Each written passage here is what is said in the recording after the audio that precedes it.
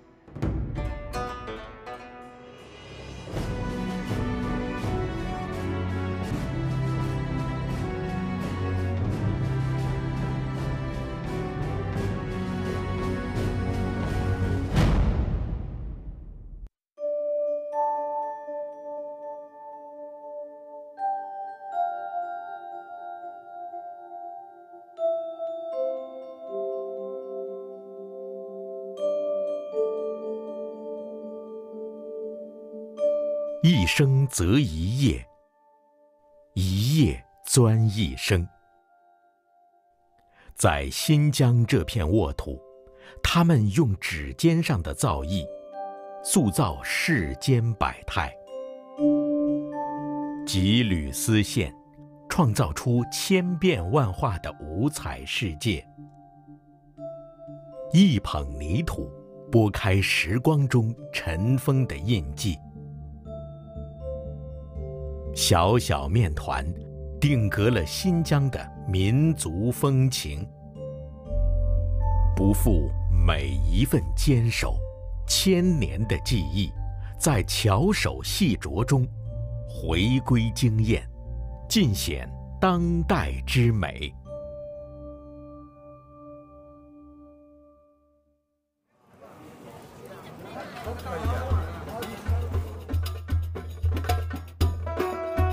新疆有着悠久而灿烂的面食文化，其中拌面、馕、烤包子等等，在全国各地广为传播。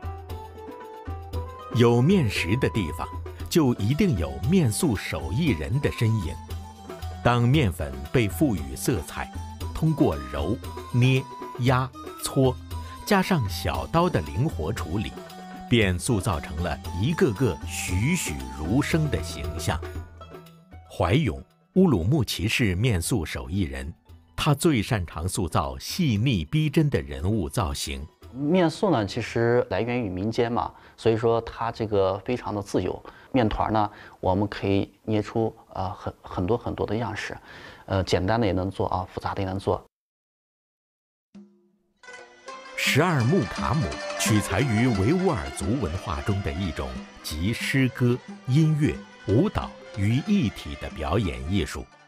二十三位维吾尔族表演者持着传统乐器吹拉弹唱，他们的形体神态迥然不同，却似乎都在忘我的陶醉中。这件组合面塑是怀勇的师傅纳鼎浩的杰作。也是怀勇成为面塑手艺人的开始。有一次就跟那老师到他的工作室来去参观，看到那个的十二木卡姆，一下子被那种震撼到了，非常的好看啊，特别喜欢。就是感觉到他的那个，呃，作品呢都能够听到他们在弹奏的那个音乐。师傅的面塑杰作深深地影响着怀勇。他也一直在探寻新疆多民族文化题材的面塑创作。达坂城的广场上矗立着一座两人骑马的雕塑，这是哈萨克族传统中沿袭的一种马上运动，名叫姑娘追。这个讲的就是我们这个呃哈萨克族少女啊，然后她在到了年龄以后呢，她会骑着。他的马，然后挥着鞭子，然后去追赶前面的这个男生，啊，要是抽到这个男生的身上的话，这个男生就会成为他的一个终身伴侣。骑马的姑娘追赶心仪的情郎，尽显哈萨克族文化中对待爱情的浪漫与热烈。怀勇决定以姑娘追为题材，做一件面塑作品。面塑最重要的材料是面粉，要选择面质最好、最为筋道的和面，在面粉中倒入一定比例的糯米粉、盐、甘油等材料。把盐放进去了以后呢，然后我们现在就要倒甘油，把甘油倒进去以后，一定要它搓。搓的这个非常的均匀，把它和出的这个小面团来。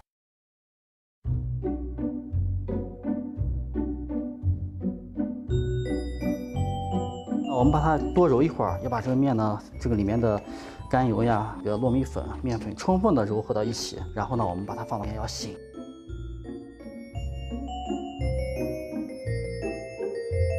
呃，醒好了以后呢，我们就可以装袋了。装袋把它可以放到蒸笼上去蒸。把这个面蒸好了以后呢，我们把这个面团要调成各种各样的颜色。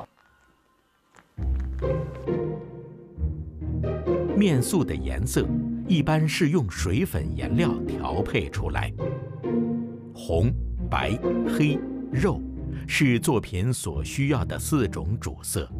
我们做那个姑娘锥呢，那个马呢是白马，白马呢是象征个纯洁嘛啊，然后白马呢看上去很飘逸，所以说我我们今天做一个白色的马，呃，然后我们哈哈萨克族呢喜欢穿一个红色的马甲，所以说我们呃需要红色啊，还有这个白色。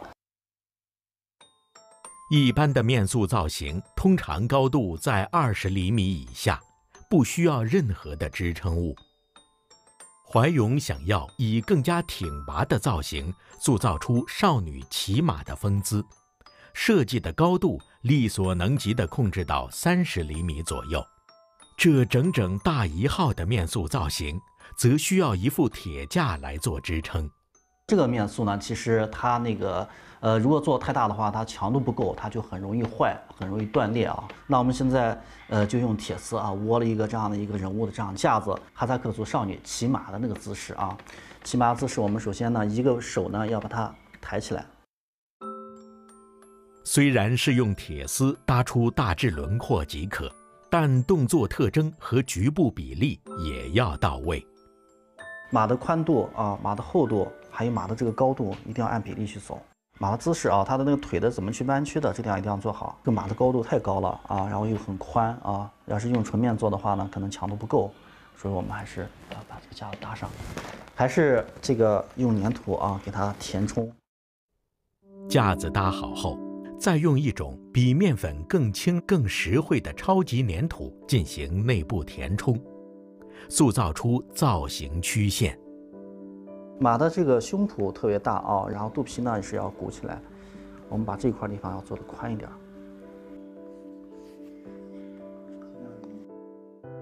呃，马的这个大心呢基本上就出来了。一捏一擀，面部线条立现。开脸是做人物面塑的关键，它直接决定了一个面塑成品的好坏。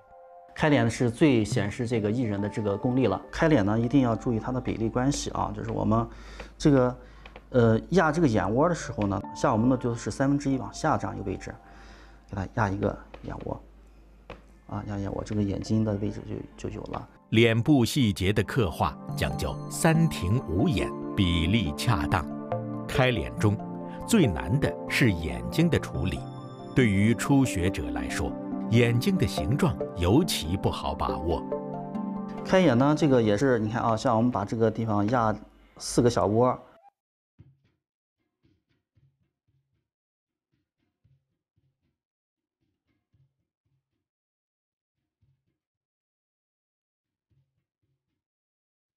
深眼窝、黑眼线，一番雕琢后。哈萨克族少女俊俏的脸庞，立时惟妙惟肖。其实手是人的第二张脸，就是我们手呢，它要把它细节地方做到，然后它的那个包括它的这个掌纹呀，它的这个呃手指头的关节呀，我们都能都要能够给它做到。红色是哈萨克族尊崇的颜色。怀勇给人物设计了一件红色坎肩。就有在做坎肩儿，然后呢，坎肩儿呢，把它这个用纸片儿啊，给它打个样，打个样以后，我们给它裁出来，这样穿的比较合身一点。将面团擀成接近透明的薄片，裁剪晾干，上身时轻轻一粘，粘的时候不要粘死啊，粘太死。然后用捋的技巧，轻轻给衣服打一点褶皱，体现衣服的流畅感。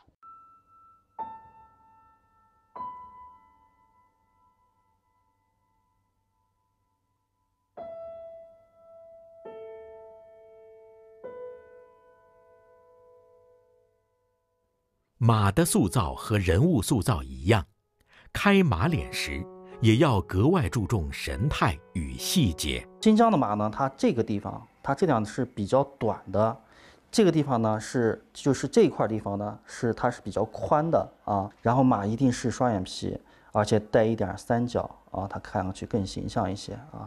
好，我们先把它这个头穿上，用擀的手法啊，你看我们可以把它擀成一个平面。把它肌肉这个做出来以后呢，这个马它的那个，呃，力量感就出来了。拥有饱满紧致的肌肉线条，才能让人感受到骏马奔腾的力量之美。小小的面团，在匠人一步步的精心雕琢下，不仅有了形，更有了神。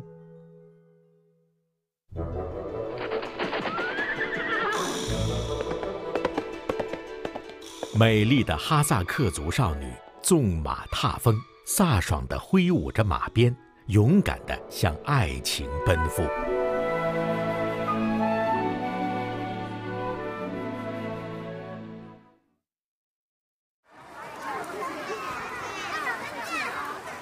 今天呢，就是我们要学习一些基本手法。今天。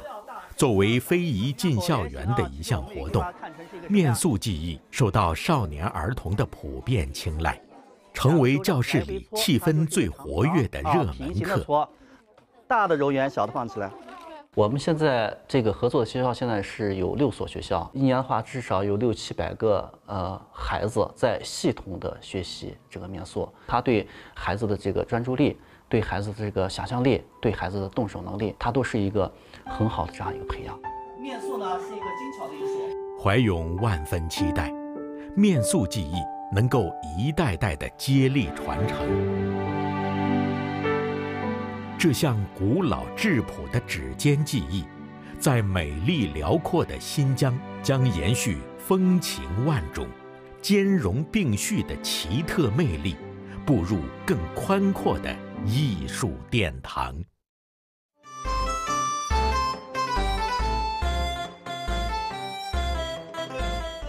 在新疆丰富多彩的民俗手工艺品长廊中，有一种大大小小的圆球，一颗颗的图案各异，色彩斑斓。这些彩色圆球颇有来头，起源于中国古代一项特有的竞技运动——蹴鞠。战国时期就有了，那它是用皮革缝制形成的，里面呢就会用一些毛呀啊这个作为填充物。但是呢，它那个时候是六片的这个皮革来完成的一个蹴鞠。现在我拿的这个已经到了汉朝了，是用八片制作的。到了宋朝呢，就是十二片，就更完整了。蹴鞠运动在唐宋时期广泛流传于民间。至清代中叶，逐渐走向衰落，但这项古老的竞技运动在民间留下了制作鞠球的手工技艺，也有着独特的沿袭演进。蹴鞠随着丝绸之路传入新疆，演变成了少数民族传统的击鞠运动。他们的鞠球最特别之处，是以彩线绣图。图案精美，绣制精细，故名彩鞠。邹永平，乌鲁木齐市采菊制作技艺手艺人。因为年轻时从事过文旅工作，他一直琢磨着如何将传统的采菊融于家乡的人文风情，好让更多人喜欢上采菊。我生活在新疆的北疆，就小的时候，哎，春天了，牛羊就转场到了春牧场，然后夏天牛羊到了夏牧场，秋天呢又到了秋牧场，冬天呢牛羊又回到常住的这样一个冬牧场。当我长大的时候，想留住那种我记忆里头的那种游牧的那种文化，所以我当时就想创造了这个《天山牧歌》。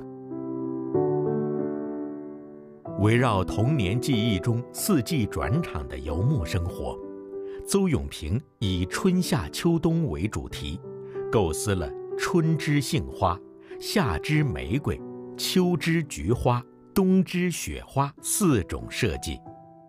新疆人特别喜欢花，那不仅女孩子取名是孤里是画各种花朵的意思呢，还有就是他们生活当中在刺绣上也会用很多花朵的这种图案。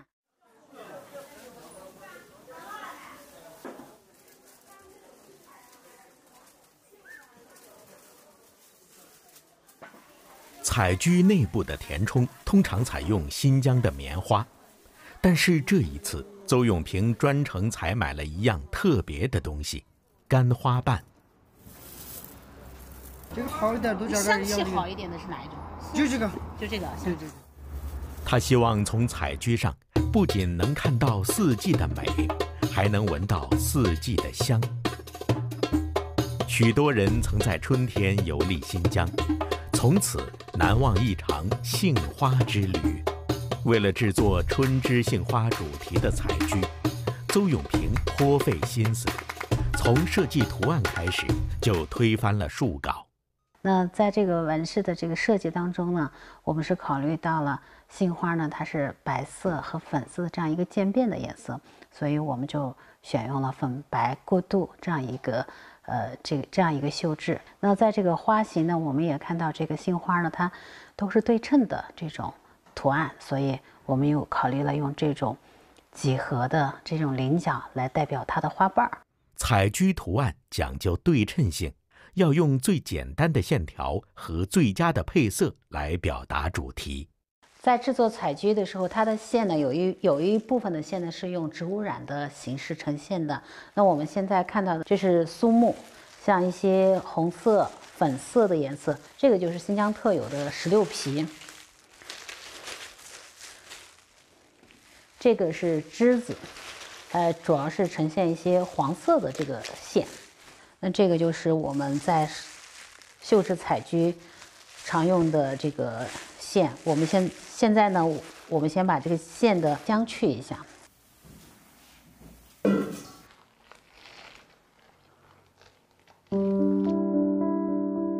如果棉线上的浆不去掉的话，染色的过程中它没有办法。全面的吸收染料的色素。萃于自然，染于织物。采居的一部分线采用植物染色，经过煮、染、洗、晾、晒，提炼出自然鲜活的色彩。古老的植物染色技艺，即将与一只小小的球体交融邂逅。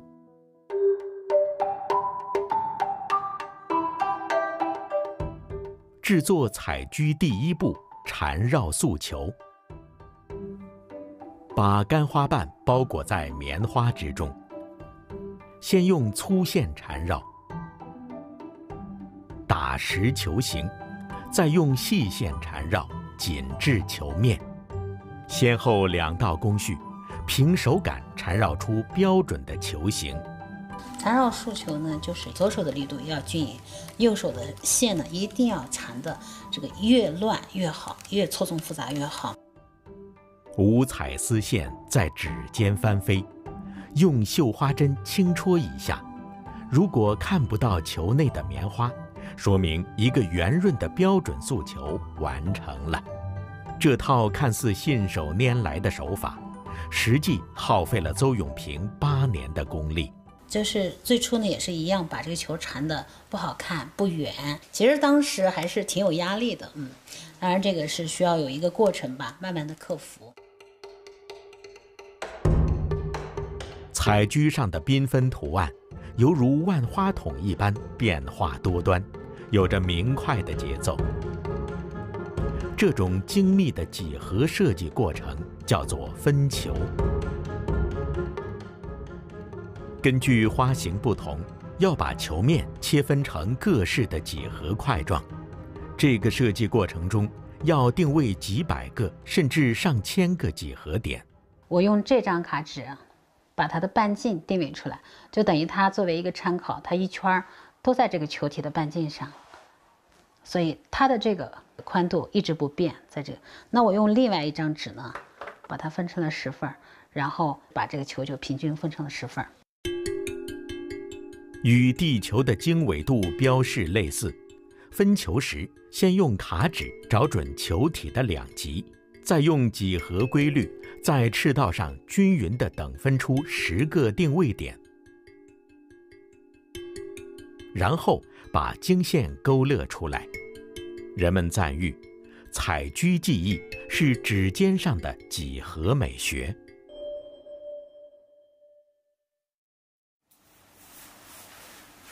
绣是彩驹制作的最后一步，也是最重要的环节。在入针的时候一定要深，然后不要太宽，然后在绣制的时候要把每一个线及时的把它整理平整。绣制时注意颜色的变化过渡要自然，先绣深色，由深入浅，粉绿交替，尤其针法上。出入针要定位精准，时刻保持线的平整度，长线在球体上来回游走，稍一不慎要全部拆线重来，这对匠人的专注力是极大的考验。一个是会打结，特别容易打结；另外一个就是都很相似，都是对称的，在精准度，包括它的花型的对称，因为它在这个球体上变化不大。但是只有绣出来以后，才能感觉到它的这个花型。但因为所有都是一模一样的金线，针一出错，一走错，整个都要裁。绣彩菊的这个专注力要求非常非常高。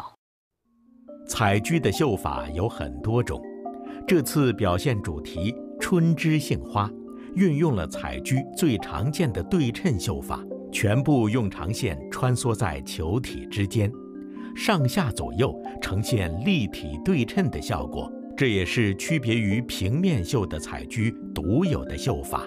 为了表现杏花的立体感，最后的花蕊部分采用了打籽绣的手法。当一朵朵小花蕊陆续点缀在彩菊之上，仿佛春天万物复苏的气息扑面。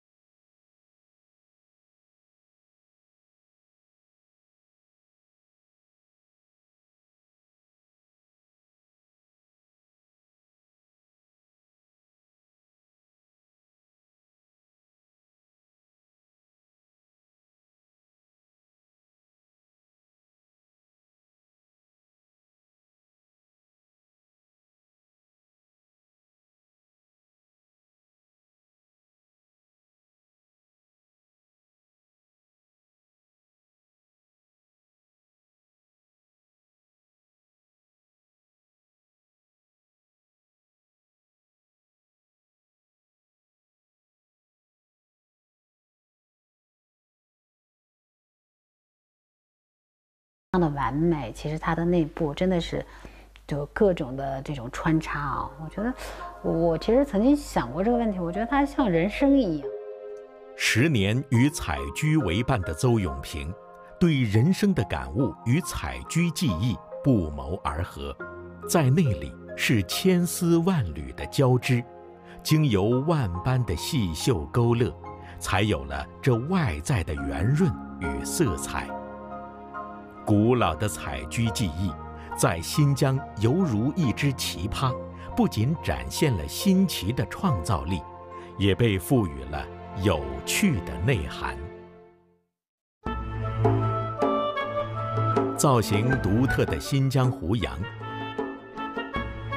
勤劳朴实的打囊老人，自然粗犷的古老民居，在新疆泥塑匠人的手中，一捧捧毫不起眼的泥土，经过揉捏塑形，被赋予了岁月的记忆。中国最著名的这个建筑学家梁思成先生说过：“说人类知识，雕塑为先。最早的原始人类呢。”就是学会了编织竹筐，去取水，然后再把它糊上泥巴，啊，然后在火上烧，就烧出了最早的陶罐。其实最早的陶罐呢，就是就是这个泥塑。所以说呢，泥塑其实就是我们人类早期的一种生活的一种本能，呃，和对生活的一种态度。作为新疆生产建设兵团的后代，王忠民从小生活在大漠戈壁，家乡的红土。是儿时最深刻的记忆。其实呢，我有幸生在新疆，对新疆的这种生活，哎，是是从小到大有这种割舍不掉的这种感受吧。所以从小呢，就在这个田野里，在这个戈壁滩上，来去取这个红土，经过水一浸泡，和成泥巴，哎，就做做各种玩具。所以我们最早的玩具呢，就是。就是泥塑，从泥塑开始，哎，开始开始这样子。童年时，王忠民与泥土为伴；长大后，他遍访家乡的故城古迹，用泥塑技艺重现着这片土地的历史风貌。王忠民最擅长表现少数民族的古民居生活，他的泥塑去繁为简，但又一气呵成，包罗万象。仿佛自然古朴的生活气息跃然眼前。这一次，为了寻找新的创作灵感，他专程来到新疆现存的最古老的维吾尔族村落土峪沟民居。我们现在在的这个地方呢，其实就是一个巨大的生土博物馆，它依附于自然，而且和自然呢，呃，这个结合的非常非常完美。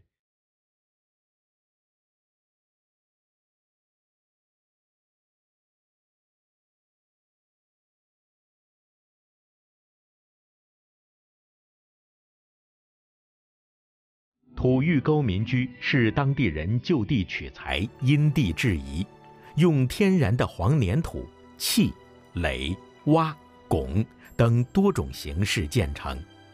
远远望去，高低错落与自然环境融为一体。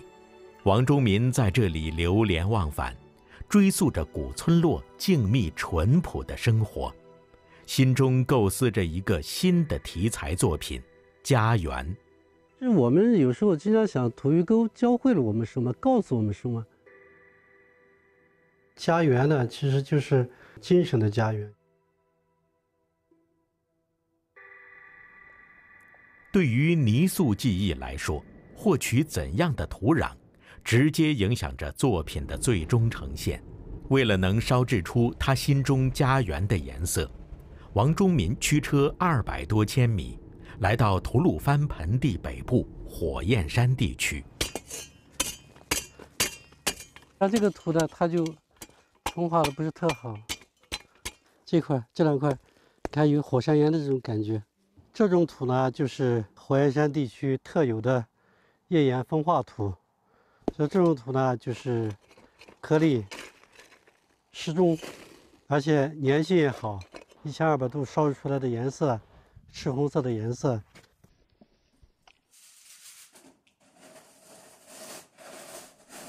取回来的泥土经过筛选、发酵，就可以开始和泥了。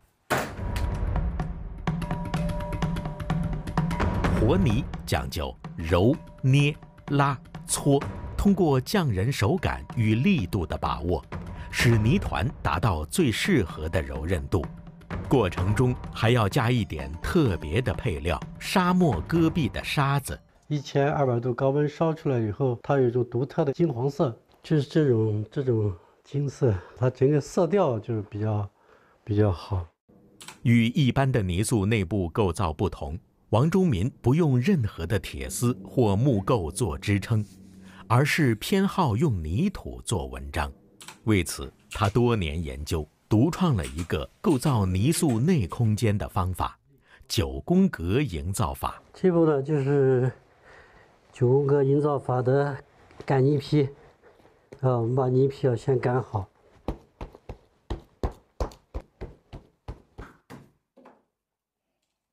对，这这一步呢，就是保持这个这个泥坯的厚度，它的厚度一定要一定要一样，然后它的这个密实度，密实度高了以后，它这个它这个泥巴的这个拉力拉力就比较强了，它拉力强了以后，它就不会断。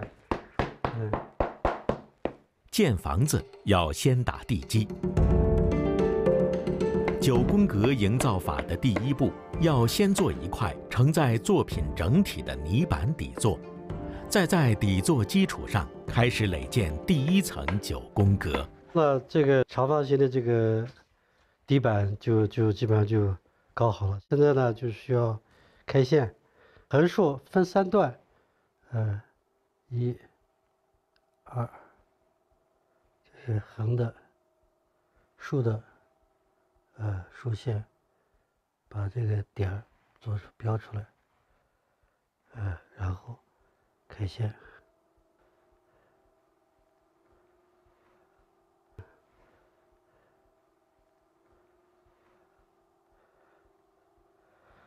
啊，这就是九宫格，这个四个点呢非非常重要，因为这四个点呢，呃，决定了就是我们作品能起多高，哎，这四个点呢起到。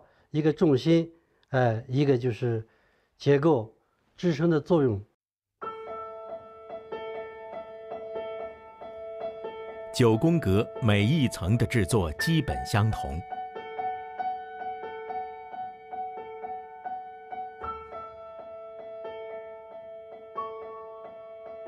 先从中间向外立泥坯，过程中不使用任何胶水。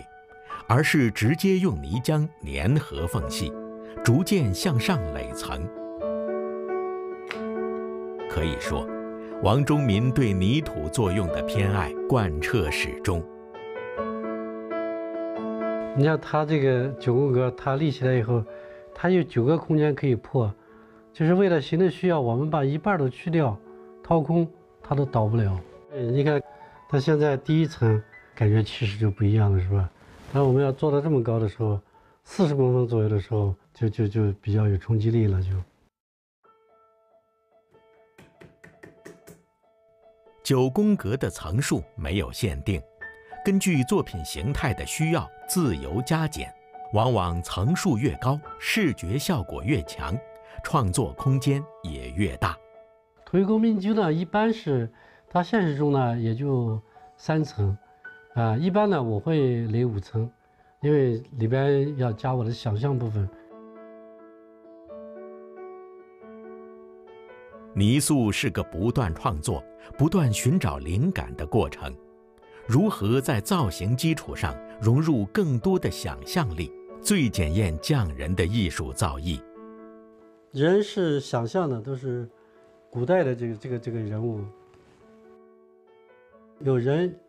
呃，有自然有动物在里边呢，它是比较完整的，就是赋予它一种自然气息、人文气息。呃，你像最从最开始的这个下边这一块儿，呃，我们可以可以隐隐约约的看到一种有深土建筑的一种痕迹。再往上呢，它就开始意念化了，线条主线条，呃，就是。以形写神嘛，这个线条呢，它在重复的过程中呢，它它是不一样的，一定要是从上到下，它流畅的。我们做到流畅的时候呢，不能就是一根线到底，哎，它有虚有实。你包括这个这个这一块儿，这一块呢，在这个里边呢，哎，我就需要这一块呢，哎，虚，哎，我就把洞开开，哎，哎，这一块你看，它形成一个一个虚实的对比。实就是这个里边的这个是暗的，这个是亮的，是流通的，空气是流通的这个地方，这个里边呢，我们透过去看，只有一点亮光。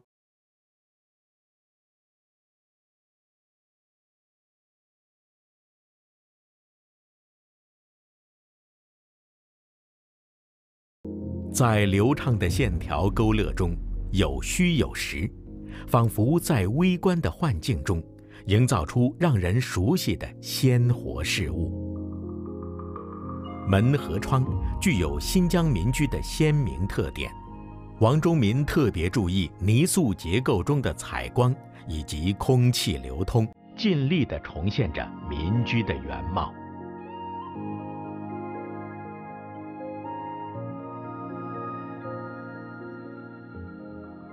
在这座仿真的泥塑民居中，神态各异的老人，相亲相爱的鸽子。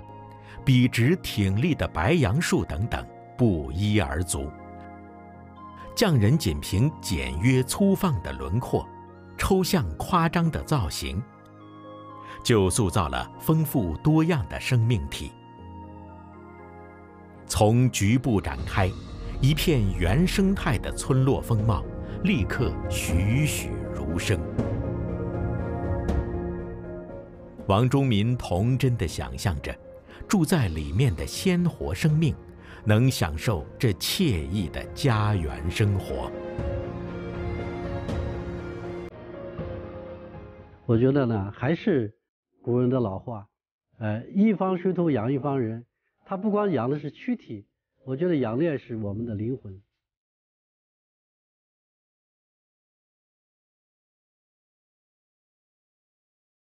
我们的古人。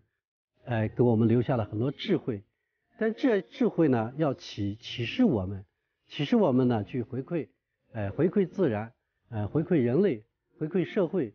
所以这个作品呢，整个讲的呢，就是一个盛典的一个纪念碑，呃，一个盛典的一个一个过程，呃，还有一些这个这个生活的一些痕迹，呃，其实这都是用造型语言，呃，以形写神的一个呈现吧。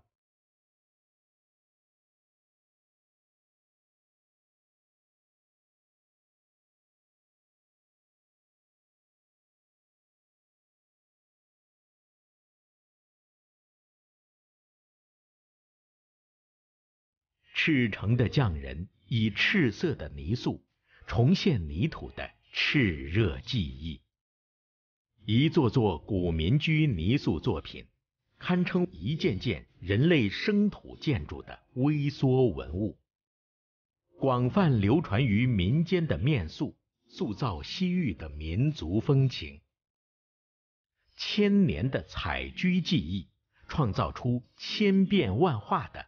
五彩世界，每一处细节都是匠人对技艺的极致追求。他们用指尖上的造诣，探寻文明的新密码。